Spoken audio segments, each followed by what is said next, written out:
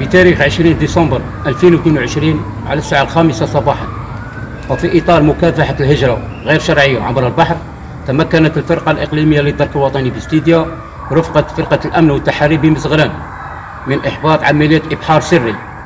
تم خلالها توقيف 16 شخص من جنسية جزائرية متابعة للتحقيق وبعد التحريات تم تفكيك الشبكة الإجرامية التي نظمت الرحلة السرية والمتكونة من عشر أفراد.